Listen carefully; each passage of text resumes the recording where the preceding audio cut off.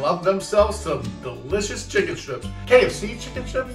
Okay. Flava's chicken strips? Yes. Let me show you how to make Flava's crispy chicken strips. Let's go.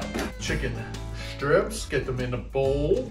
Add in a cup of buttermilk, about a half a teaspoon or so of kosher salt, about a quarter teaspoon of pepper, about a quarter teaspoon of garlic powder.